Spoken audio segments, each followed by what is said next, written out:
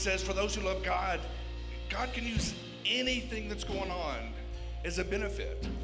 And I don't know what you have brought with you today, right? I don't know what kind of week you've had, but today, God is here to meet your needs, right? God is here to ease that burden, to bring restoration. And uh, we just want to thank you. You know what? You guys can have a seat. If you're a guest here, we, just want to welcome all of our guests. I know I met a couple of you uh, right before service, and we really count it an honor for you guys to be here. I was talking to somebody before first service, and I made the comment that 8 o'clock on a Sunday is like 6 o'clock any other day of the week, right? Which is probably the reason you guys are at the 11 o'clock service, right? I get it, I get it. Uh, but we really just want to honor all of our guests. And if you would, we would love for you to take just a moment and fill out a Connect card. You can find it in the seat back pocket in front of you. We promise not to hassle you. We're not going to show up unannounced at your house. We just would love a record of your, of your visit and to find out how we as a church can better serve your family, what we can do if there's anything that you need prayer for, any way at all we can serve your family. Or maybe you've been coming for a while and you need to update some information. The Connect card is a great way to do that. This is the point in our service where if you are a guest, this isn't for you. This is for Vibrant. Okay, you can participate if you want, but this is whenever we come and we get the opportunity to give. What I love about being able to give is one of my core values is that the purpose of wealth is ministry. And it takes money to spread the word. It takes money to to spread the gospel and to build the kingdom. And you don't give to vibrant, you give through vibrant right? Look at all the ministry that took place yesterday for those of you who are aware. And Pastor Michael's going to share a little bit about that in a minute. But we aren't able to do that, to make a difference in the lives within these walls, in our community, and in the world. We can't do that without you. But it's also a way for you to partner with God with your finances, right? I mean, why would you not want to partner with the God who spoke the stars into existence, right? I mean, I own a business, and if I'm gonna partner with somebody, you know, there's some certain characteristics I'm looking for. God meets them all, right? So there's three different ways you can give. You can give online at vibranthtx.com. You can text to give 84321 uh, and text the amount. It'll walk you through some steps there or the ushers are going to be coming, uh, passing a bucket you can give in there. But we just want to thank you for your faithfulness and let's pray over the offering. Father, we thank you so much that our jobs aren't our provision, that you are our provider. Father, we look to you. We thank you for the opportunity we have to give. We thank you for the ability to give. And we ask that you would bless this gift that you would bless the giver, that you would give the leadership of this church wisdom on using these finances to best help grow your kingdom and bring life change. We thank you so much for it. In the wonderful name of Jesus, everybody said, Amen.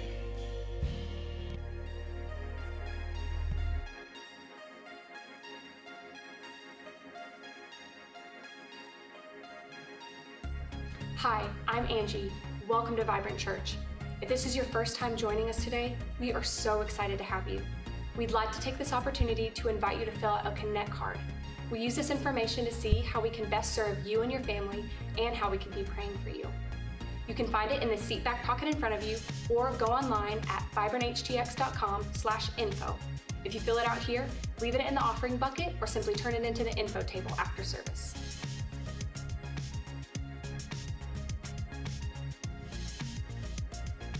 Here at Vibrant, we are real people with a real passion to live vibrant life in Jesus. But what does that mean? If you find yourself asking this question, or you'd like information on taking next steps to get more involved, Next step one is today, immediately following first service, to the double doors to the left in the worship center. This is where you can learn more about the vision and values here at Vibrant, as well as the government and finances of the church. Come discover the gifts and abilities that God has uniquely given you and learn how to use those to best serve those around you. We would love to see you for next step one today and again next Sunday for step two. As always, childcare and snacks are provided. If you haven't already, we'd like to encourage you to download the Church Center app.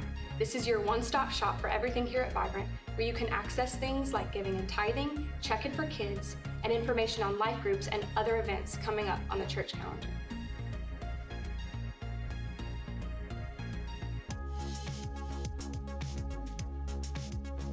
It's our Work Hard, Play Hard weekend. We hope you had a great time at Serve Day yesterday, and now it's time to play hard at our Dream Team Party.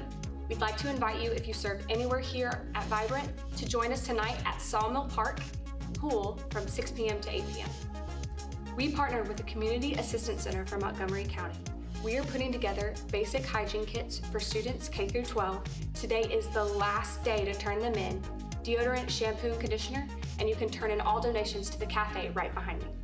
Here at Vibrant, we want to develop leaders that are kingdom influencers beyond what happens on Sunday. Vibrant College is launching this fall. If you want to grow your leadership or deepen your biblical knowledge, Vibrant College is for you. If you want to learn more information or sign up, go to vibranthtx.com slash college or talk to anyone here on our pastoral team. We are so honored you took time out of your week to join us today, and we hope you enjoy the rest of service.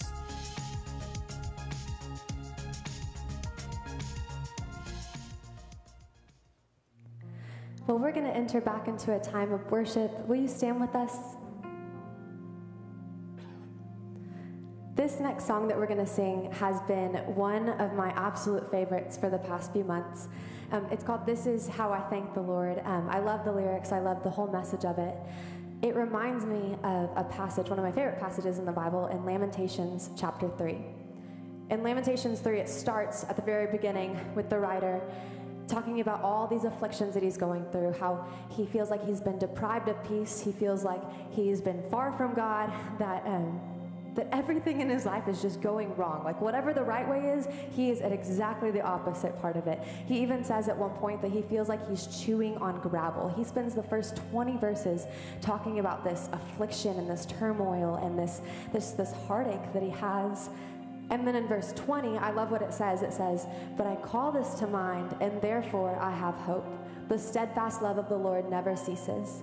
His mercies never come to an end. They are new every morning. Great is your faithfulness, says my soul. Therefore, I will put my hope in him.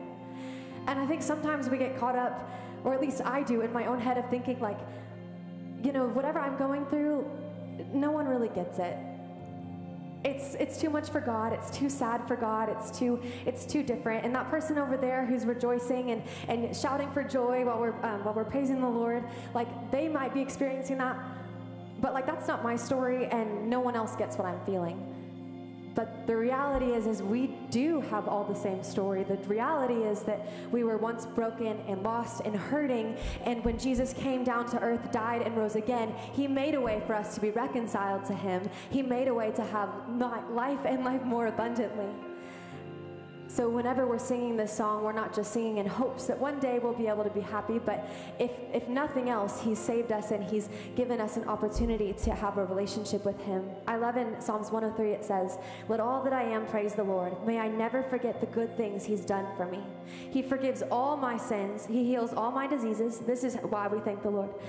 He redeems me from death. He crowns me with love and tender mercies. He fills my life with good things. My youth is renewed like the eagles. The Lord is compassionate and merciful. He's slow to get angry, filled with unfailing love. He doesn't punish us for our sins. He doesn't deal harshly with us as we deserve. For his unfailing love toward those who fear him is as great as the height of the heavens above the earth. He's removed our sins as far from us as the east is from the west. And I love that because it's great to read that and be reminded of like, he's done all these things for us. Like, he's so wonderful. But if he never did another thing for us, if he never gave us another blessing, the fact that he sent his son and gave us an opportunity to be in a relationship with him, he gave us an opportunity for our sins to be separated as far as the east is from the west. One of my favorite lines in this next song says, He keeps no record of wrongs. And that is enough to shout about. That is enough to get excited about. He doesn't keep record of what I've done. I don't have to earn His love. God is not mad at you. He's slow to get angry. He's compassionate. And every day we get a new opportunity to be in relationship with Him. Our prayer team is going to come forward. If you have something that you're going through that you'd want someone to pray with you, pray over you, they would love to do that with you. Let's pray together. God, we love you. We thank you for your unending mercies. We thank you for your love for us. We thank you that if, if nothing else, if everything in this world is stripped away from us, we are steady and secure on the fact that you love us and you've given us a relationship with your Son. We thank you, Lord. You are so good to us. We'll never get tired of singing your praises and of your goodness, Lord. Thank you, Jesus.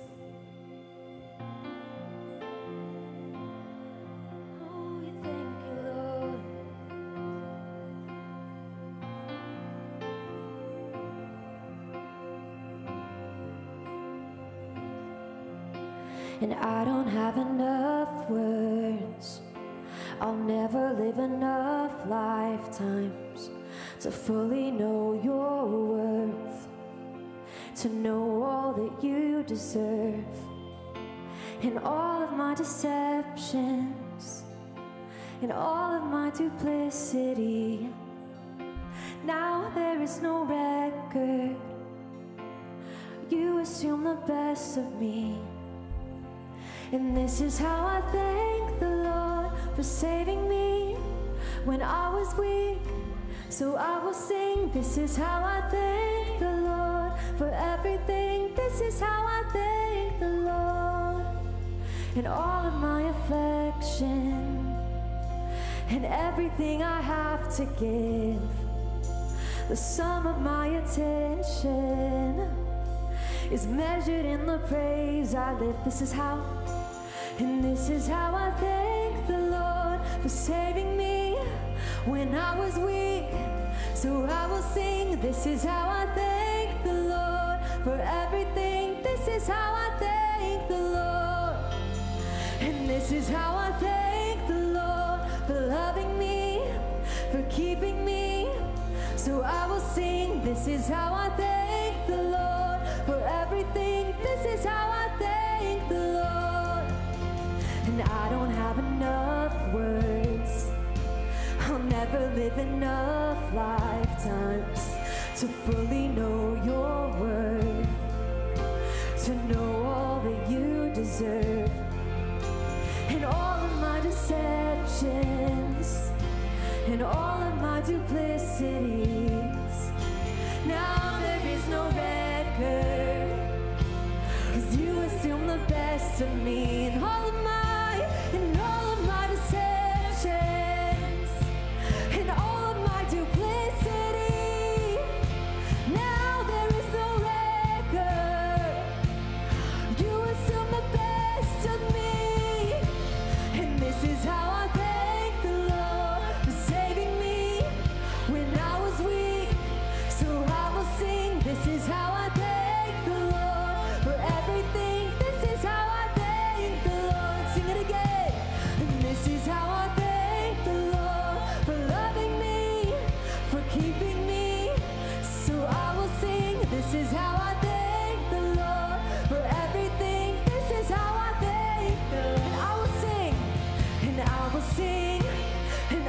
see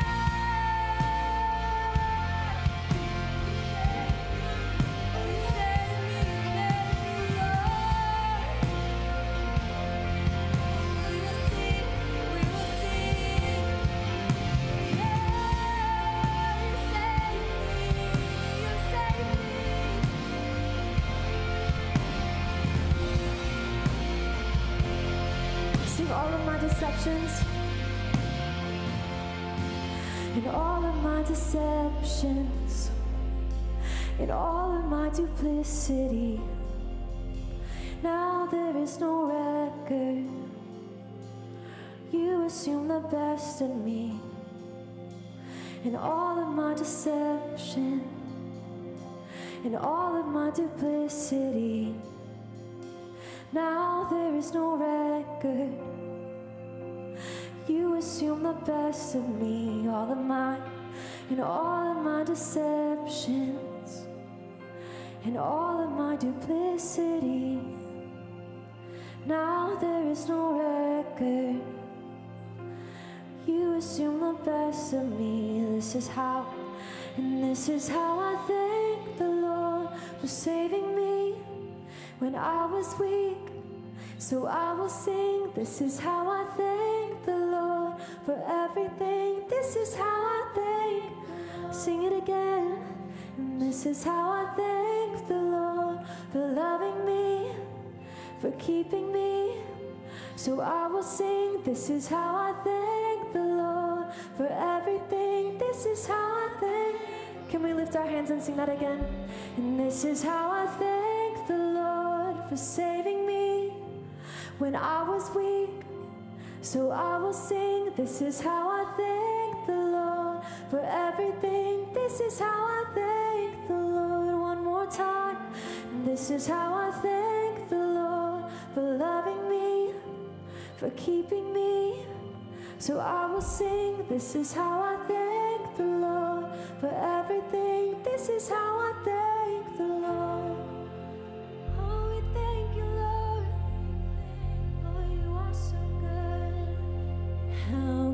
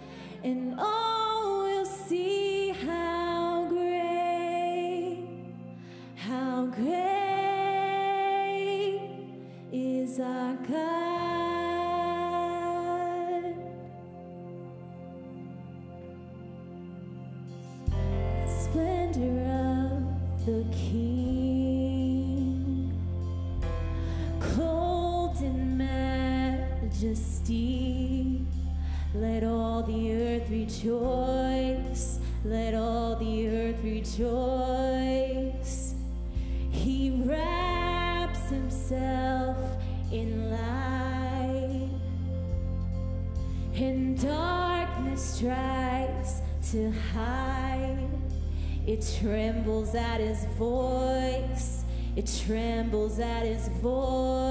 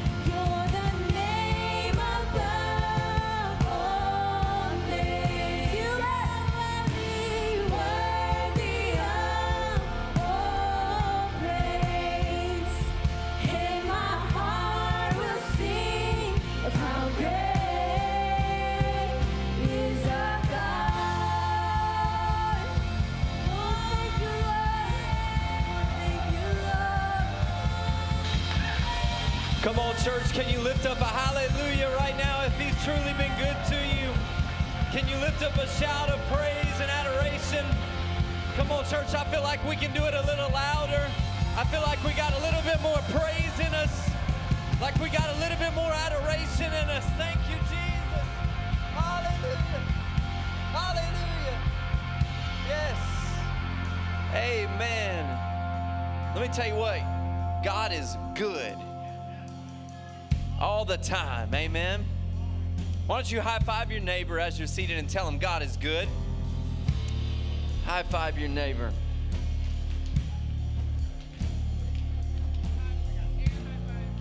Amen. Amen. I love it. Thank you so much for being here. My name is Michael. My wife Carmen and I, we have the tremendous honor and privilege of serving this church as lead pastors. And we're so thankful that you chose to be at church today.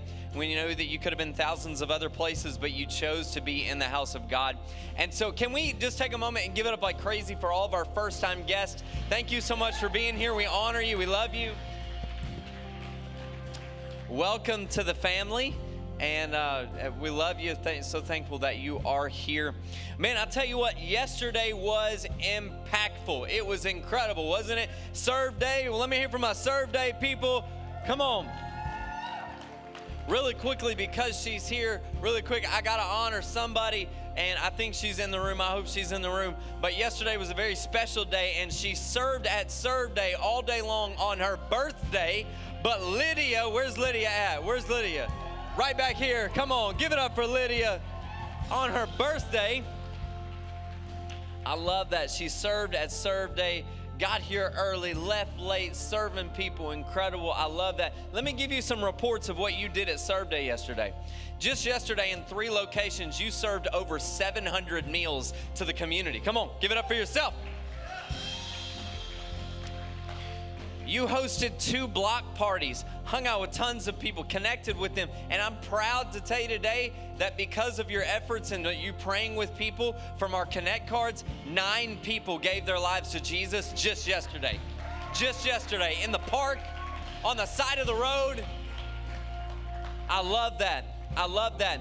You were able to write 75 letters and cards to shut ins that don't get visited by anybody, but you are able to not only just step in the room with the card, but you get to bring Jesus with you because you prayed over the cards, you connected with them, you're, you're ministering to people. 75 people. Come on, that's good. Let's clap our hands for that.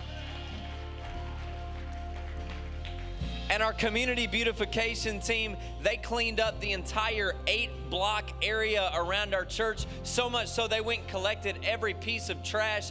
They actually found a tire y'all in the middle of the woodlands. They found a tire and wheeled that thing back to the church to put in the dumpster. Come on that's awesome. We can clap for that too. And our kids team served so faithfully so all of our parents could go out and, and, and serve yesterday. Can we give it up for our kids' teams? And I want to tell you, we were able to do all of that yesterday. We were able to cover all of the finances and fund the entire project just straight from your tithe and offering because of your faithfulness. We didn't have to take an extra offering because our finance team budgets well. And I want to honor our finance team that does an amazing job to make that happen. Can we do that? Thank you so much for serving at Serve Day because serve is not just what we do, it's who we are, right? Right? It's, it's just we are all, we just love it. We love it. It's what we live for. And so thank you so much. Today, we, you know, we're in the middle of a season of our church. Anybody love the summertime? Summertime. We're in the middle of a season of our church. What, uh, what I love to do is I love to give voices in our church that I don't know if you know this or not, but there are incredible communicators that that attend this church uh, that have communicated to even hundreds and thousands of people that are very educated and uh, very just great communicators of the word. And, and so I love to take a season like this to let our the communicators that go to this church serve on the teams with you, give, an op- give them an opportunity to communicate what God has laid on their heart. And so today I had the opportunity to introduce Brady Sticker. Y'all love Brady?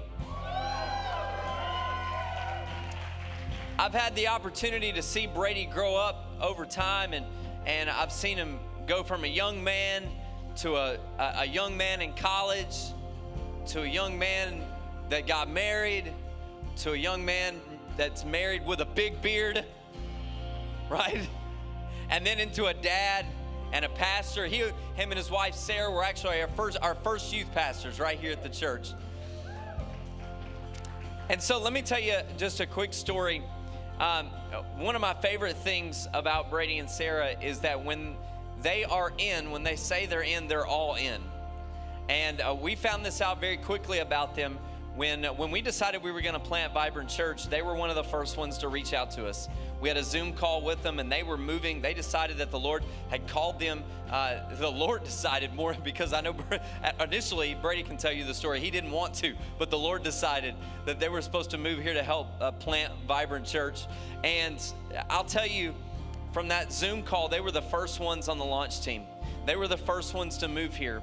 They were all in from day one, whatever we needed. I mean, they've served on so many teams around this church.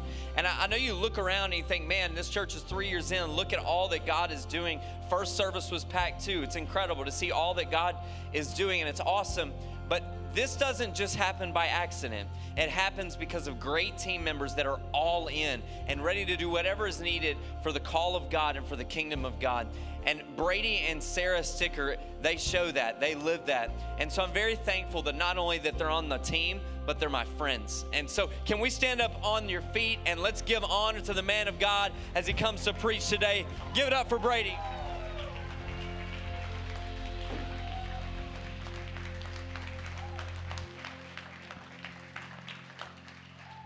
Amen. You guys can be seated.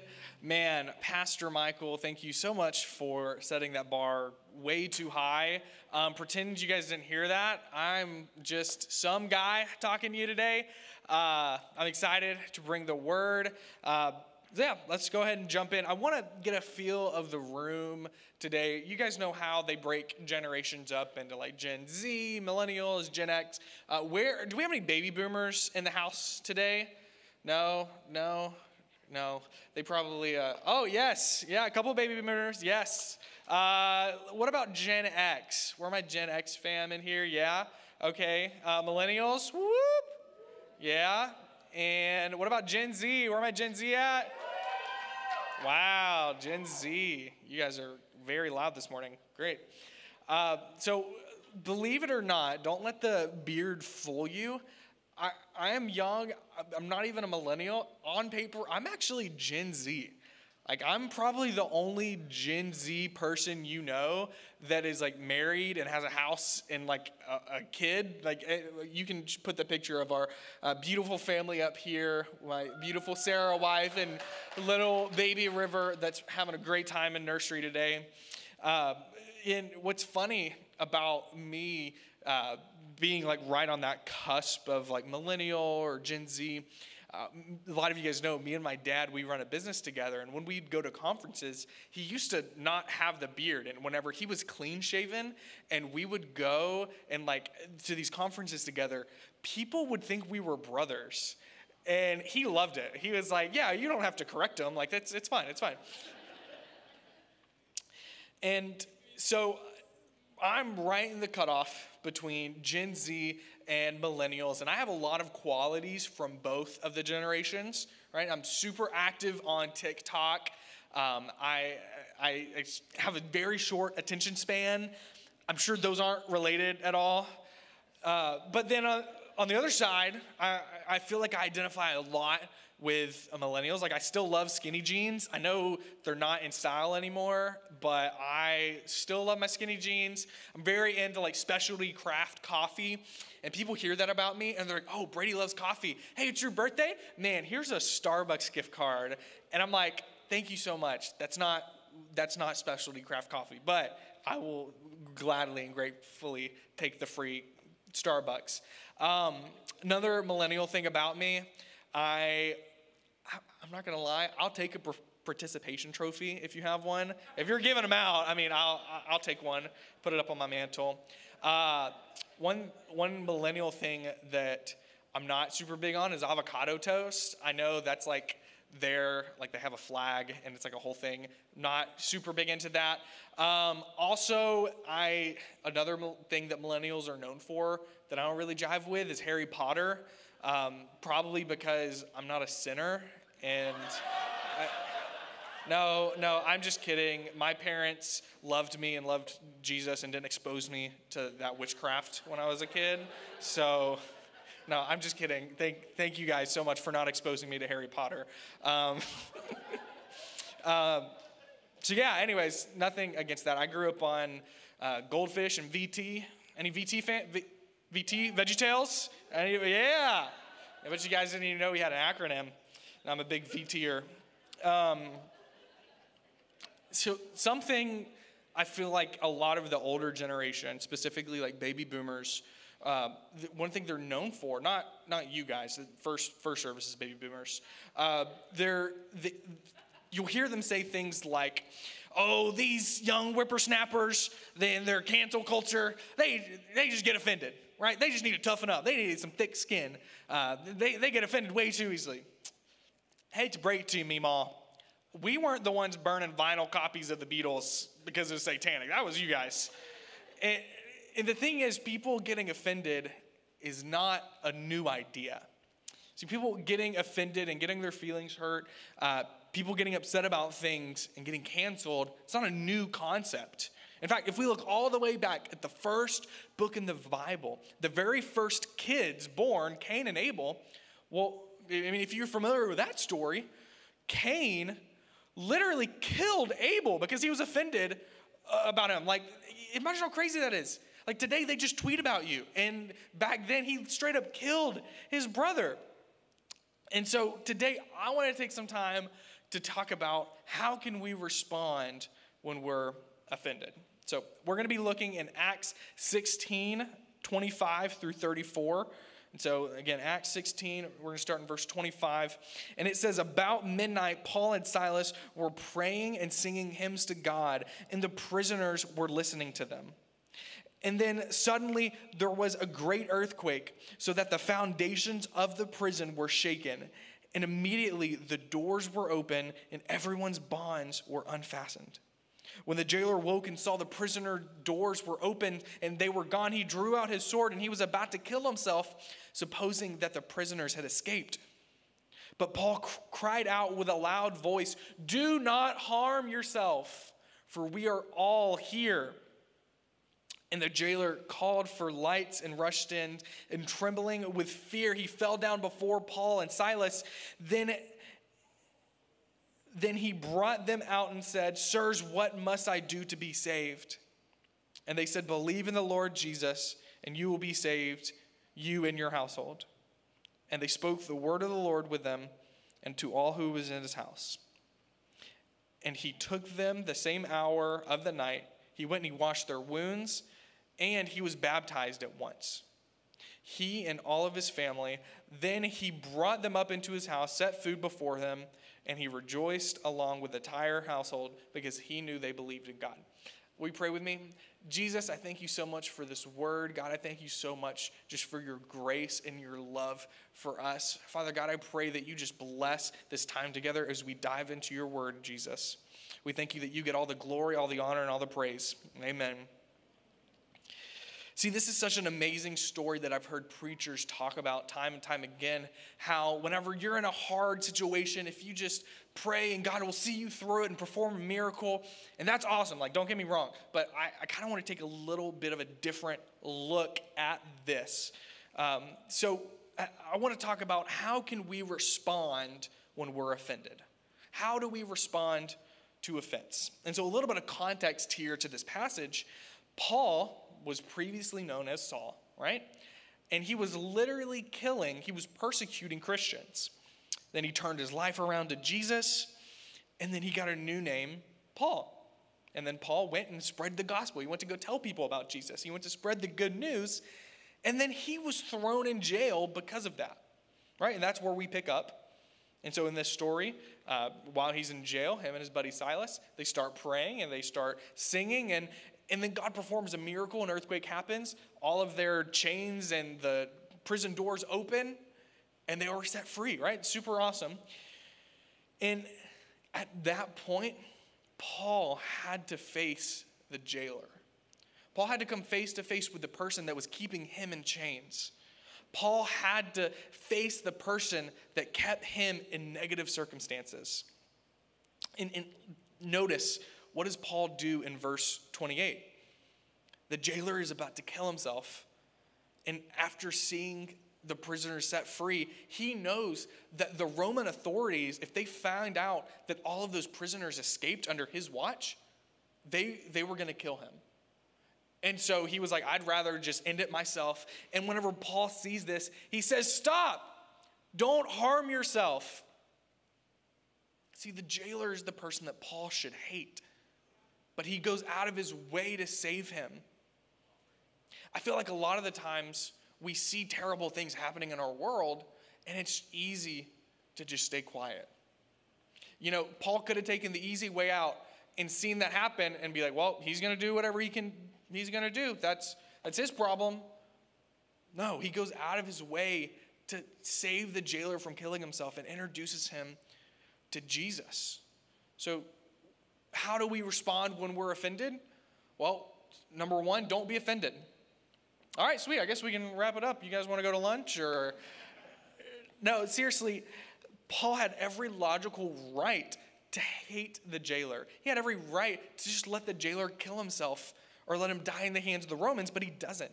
He showed zero ill will towards him and he forgave him.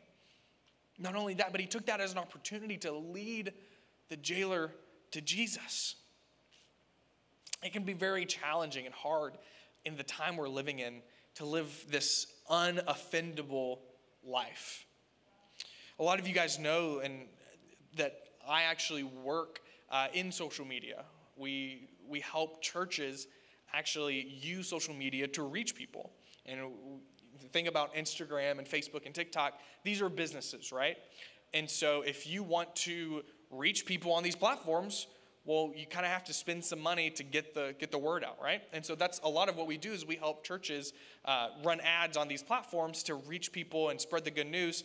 And so I make a lot of TikToks about that for churches. So I'll make a TikTok helping pastors use social media to reach people.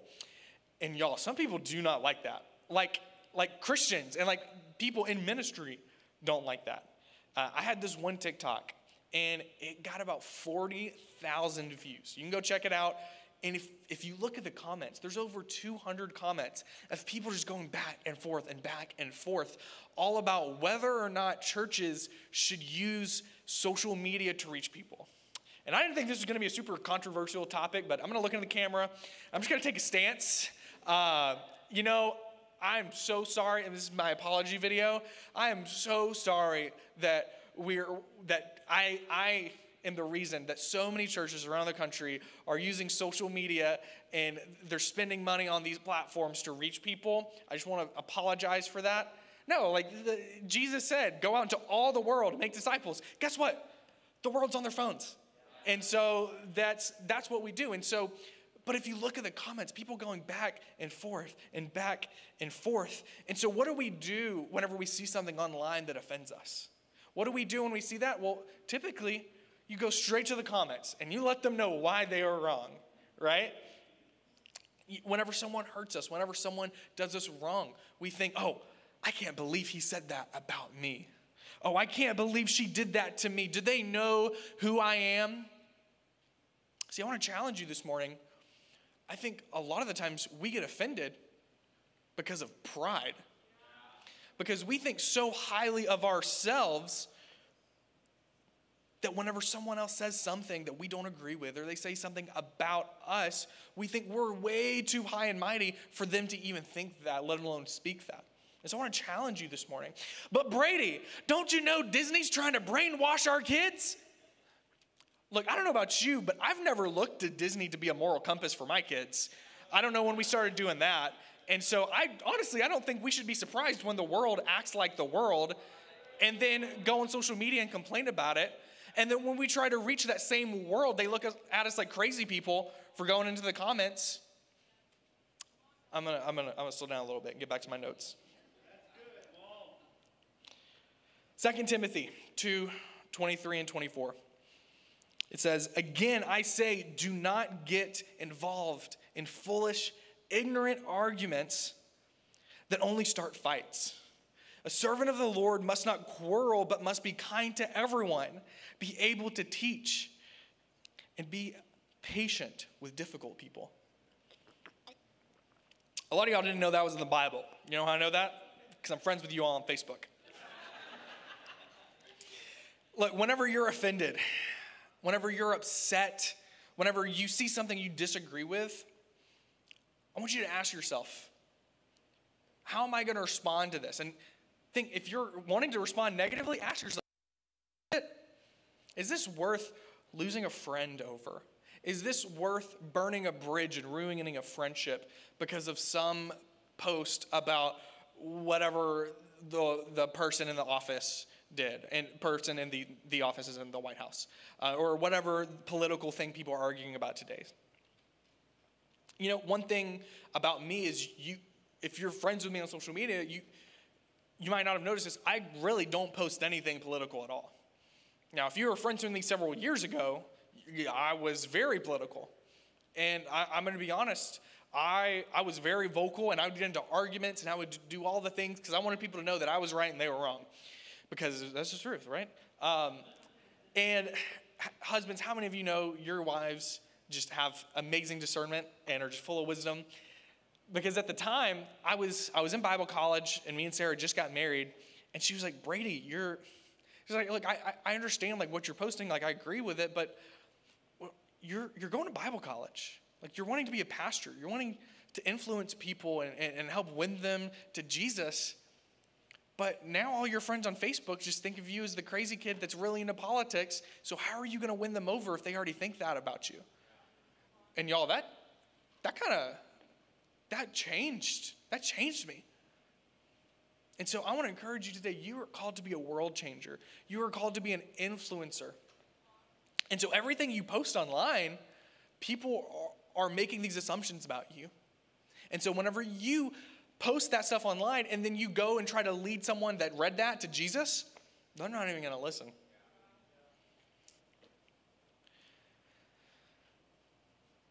I see so many arguments online, and in a lot of it, in fact, one of my mom's um, closest friends that she's known for years deleted her and blocked her on Facebook. And my mom will tell you, she's like, I lost a friend over this, this whole political social media thing. And I, I just want to encourage you what you say online and these arguments you're getting into the comments, is it worth it? Is it worth burning that bridge?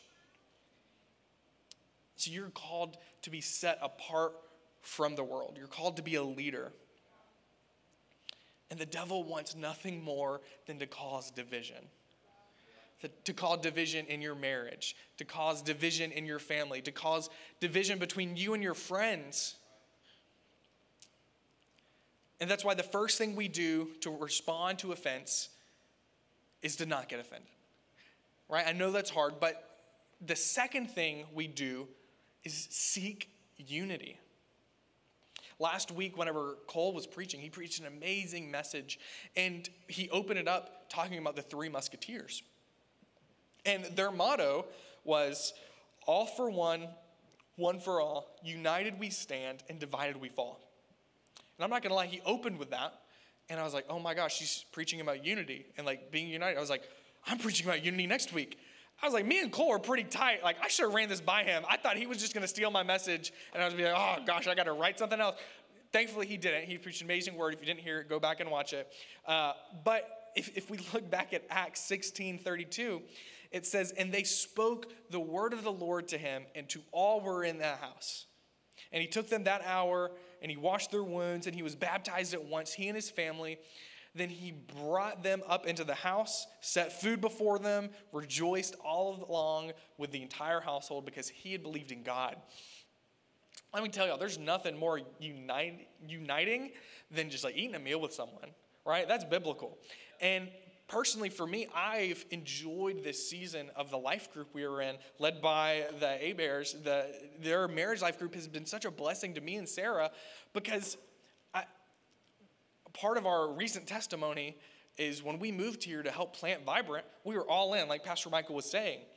I think we might have bitten off too much more than we could chew because we were student pastors. We, we helped lead the greeters and the host team. Uh, we were doing all the social media stuff. I was working full time. Uh, we had a baby. And like our community, a bunch of 16 year olds. And nothing against you guys, but like I, I, needed some friends that were adults. And and so now I'm happy to say that like we're in that season where we're able to have these this community and, and people around us that are in a similar stage in life. So I want to encourage you, if you're not involved with a life group, this next semester is coming up just in a couple of months, and you can get involved and you can have that community, right? Now, if I was not, I wouldn't do this, but if if I was a uh, megachurch pastor, I would probably make some kind of reference to community leads to unity. I'm not going to do that, but, anyways, if you want to put that in your notes, you can. So, a lot of my friends make fun of me because I'm really into comic book movies, but like just the movies. Like, I've never read a comic book in my life because I'm not a nerd. Uh, I'm just kidding. I am a huge nerd. Uh, but I'm just a lazy nerd. Like, I'm not to read the movie. I'm not to read the comic books when they make amazing movies about them. Like, one of my favorites is Captain America Civil War. Such a good movie. It's the first time we see Spider Man, like Peter Parker, in the Marvel Cinematic Universe. Some of you guys are like, the Marvel, Cin- I don't even know what that is. Don't, don't worry, it's, it's fine. Um, so, in this movie, the, the Avengers, they're divided on some issues. You've got Team Captain America and Team Iron Man, and they're basically split up because of these, this disagreement they're having, right? And the whole plot of the movie is about their arguments and how they had to choose sides, and half of them agreed with Captain America, half of them agreed with Iron Man. And then at the end of the movie, there's this fight scene between Captain America and Iron Man, and Captain America almost wins and like almost kills Iron Man. And then, then we realize that the main villain of the movie wasn't Captain America or Iron Man. There was this other guy causing, putting all these dominoes in place to make them fight against each other. Because this villain knew that he wasn't strong enough to defeat them himself, but if he could pit them against each other, then he wouldn't have to do anything. And guys, I want to encourage you the devil knows that he is not strong enough to overcome the kingdom of heaven, but he knows if he can divide the church, he's got a really good chance at doing that. And so, look, I'm all for discussion and discourse, right? I'm all for talking things out, but there's a difference between arguing and discussing. Like you, you argue to win. You argue to make sure the other person knows that they're wrong. And then when you discuss, you're looking for common ground. You're looking to find something that you guys agree on and get on the same page. If we look at 1 Corinthians 1, verses 10 and 11, it says, I appeal to you, brothers, by the name of our Lord Jesus Christ, that all of you agree. And There's no division among you, but that you be united in the same mind, and the same judgment. For it has been reported to me by Chloe's people that there's some quarreling amongst you, my brothers. Hey, Vibrant Church, there's some quarreling among you. Not you, first service, but in the Big C church, we're so divided on all of these issues, right? And that's why I, I stay out of politics. I'm, I'm on team Jesus. Like, hey, let's just get on the same page. My wife gets mad at me because, like, even, even when we watch, like, The Bachelor, no, I don't watch The Bachelor, but she has it on and I'm there with her. And she'll be like, oh, I can't believe she did that. Or, like, oh, there's like two people going against each other for the love of one person. And I'm like, I mean, I don't, whoever wins is great. And she's like, no, you got to be upset about this. And I was like, okay, baby, I'm, I'm upset about this, yes. Um, so in Matthew 12 25, Matthew 12 25, it says, Jesus knew their thoughts and replied, Any kingdom divided by civil war is doomed. A town or family splintered by feuding will fall apart. I want to encourage you guys today to seek unity in your family, to seek unity in your marriage, to seek unity with your friends and with your coworkers. James 1:19 says, "Everyone should be quick to listen, slow to speak, and slow to anger." And so, like, honestly, guys, this is just the, the playbook to having discussions and to finding unity. When you feel offended, seek to unite, not just to be right. And this brings me to my third point is that whenever you feel offended, love that person. Love that person that offended you. If we look back at how Paul responds to that jailer back in Acts 16:31, it says, "Believe in the Lord Jesus and you will be saved, you and your household." And they spoke the word of the Lord to them and all that were in his house. In that same hour of the night, the jailer washed Paul and Silas's wounds, and then they baptized the jailer, and him and his family were, were saved. And they went and they had a great meal, and everyone rejoiced because he believed in God. And so, Paul, he didn't just save this man's life from death, he loved them so much that he was able to lead them to Jesus. Not only that, but to be in community with him. This is so backwards from what the world tells us to do. It's so backwards from what culture would do in this situation. Someone posts something on Instagram or Facebook or Twitter that I don't like, I got to let them know that they're wrong. I got to speak my truth in the comments. Whenever someone wrongs me, whenever someone does something to me or my family, I got to wrong them back. An eye for an eye is what we hear. Whenever I was little, I, I rode the bus a lot to and back from school. And I'm going to be honest, like elementary school, middle school kids, we, we were the worst on the bus. Like, if you rode the bus in school, you know that you guys did not behave yourself on the bus. If you did, you're lying. Uh, because typically, I remember bus drivers being very mean. And whenever we, we went to Disney a while back, uh, back in November, and we brought our, he was like six, seven, eight months old, uh, our son. And y'all, just because the, the baby gets in for free at Disney, it's a trap. Don't do it. It just don't. Uh, I, we went and he sleeps all the time. He's not going to remember it. And we were trying to go from one park to another, and we needed to take a bus. And he is dead asleep in the stroller. And we walk up to the bus station, and I just had a feeling like, oh gosh, they're not going to let us just carry the stroller onto the bus. Like, I hope they do, but I don't think so. And sure enough, the bus driver's like, hey, I'm sorry. You can't just like bring the stroller on. You got to take the baby out. It's like a safety thing. I was like, oh, please. He's like, no. I was like, okay, I tried. So sure enough, River being asleep in the stroller, pick him up. He wakes up, starts screaming bloody murder. Like he's went, you know the the song "The Wheels on the Bus Go Round and Round." Okay, well, there's that one part about the baby on the bus going wah wah wah. Y'all, that was written about me and our son because he went wah wah wah all the way home, and he did not stop screaming. And if you're a parent here, you know the embarrassment, and it's like, oh my gosh, the baby won't stop screaming. I'm in public, especially on a bus, like a confined space. It, it's the worst. And I, I feel like everyone's staring at me. I feel like the bus driver hates me. And it was so bad. And whenever the bus finally gets to the other park and we start to get off, the bus driver starts to walk towards us. And I'm just going back to the time I was in middle school. And the bus driver would walk to the back of the bus. And I'm like, oh gosh, it's coming. He's going to let me have it. And he comes up and he's like, Guys, I'm so sorry that your baby had to wake up. Here's, here's something that I hope can make it better. And he gives us one of those little collectible Disney pins. And I'm like, Oh my gosh. Like, this is something that the church can take some notes from for Disney. Like, just serving people like that. Because I thought he was to be mad at me. My my view, no offense to any bus drivers in here, but my my point of view of bus drivers were like they're kind of mean.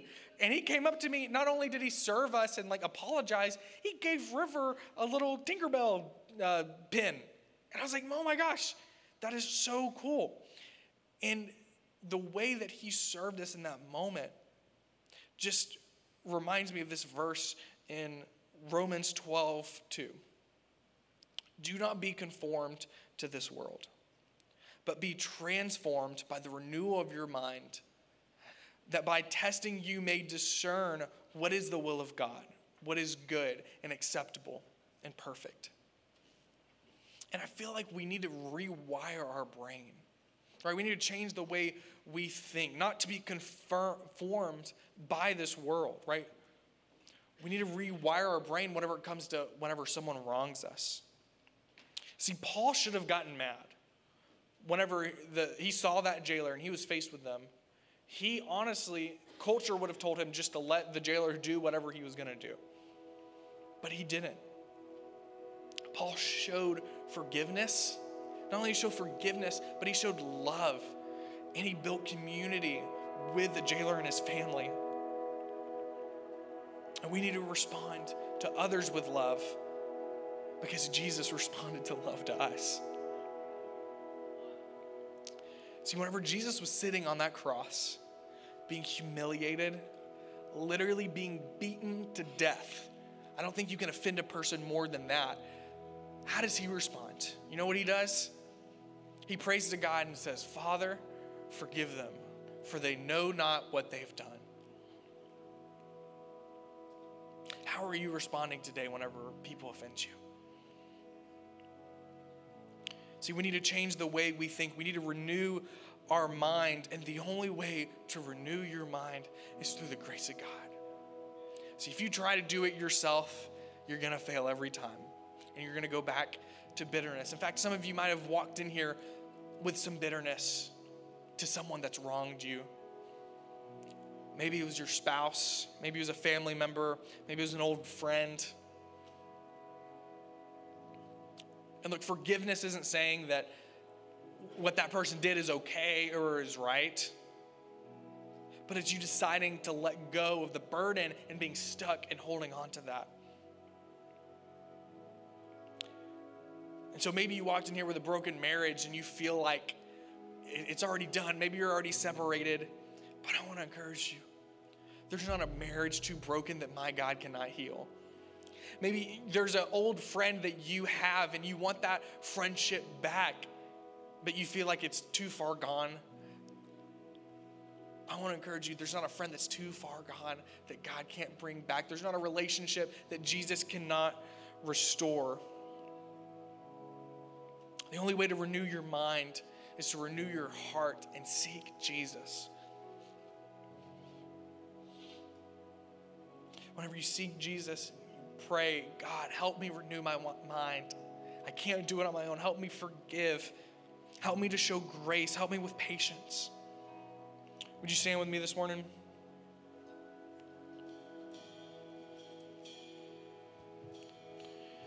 I'm about to pray, and before I do, I just want to encourage you. Maybe you're in here and that's you, where you have a relationship with a friend, or maybe it's your spouse, and you feel like it's broken. And you're at that point with offense to where you feel like there's no going back. Well, I want to encourage you that there's nothing too broken that Jesus cannot put back together. Would you bow with me? Jesus, we thank you so much for your love. God, thank you for showing us grace whenever we didn't deserve it. Thank you for forgiving us whenever we didn't deserve it. Jesus, right now, I pray that you touch the hearts of the people in this room that are struggling with bitterness towards someone else. God, I pray for restoration in marriages. God, I pray for friendships to be healed. If you're here today and that's you and you want restoration in your marriage or you want a friend back, would you pray this with me and say, Jesus, Jesus, I seek you to renew my mind. Jesus, renew my heart. Help me to forgive. God, I thank you that you are the God of restoration, that Jesus, you are the Prince of Peace, and I choose you this morning. I choose you over bitterness. God, I choose you over hurt. Jesus, I choose you over resentment. Help me to forgive others just like you've forgiven me. Amen. Now, like some of you in here, whenever we're done with church, you need to make a phone call. Or maybe you need to sit down with your spouse and have a heart to heart. And I want to encourage you that it takes a lot of humility to be that person to step up and say, hey, I'm sorry. I'm sorry for not being there and showing forgiveness whenever I should have. But I want to encourage you to take that step today. And so, as the band, they're about to sing, I just want to encourage you to press in and just thank God for the forgiveness that He showed us, that we were able to forgive others. Amen. Amen. Will you sing with us this morning?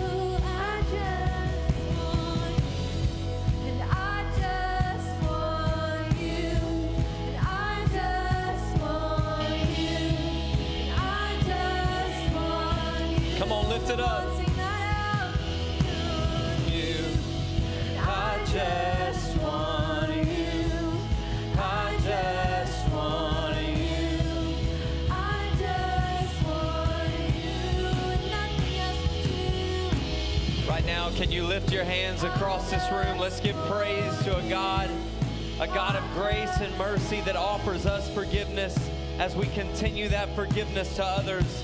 Come on, let, let's thank Him for His mercy. Lord, we love you. We worship you today, God.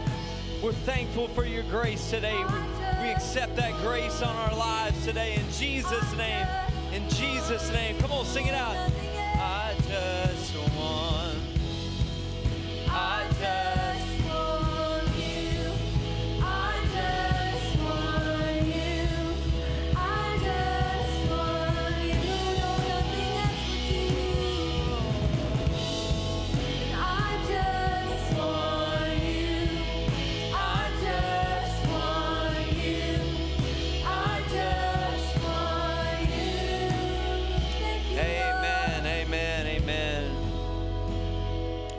Think there's something powerful what about what Brady was saying earlier. It's just that we choose offense is a choice, but unity is also a choice.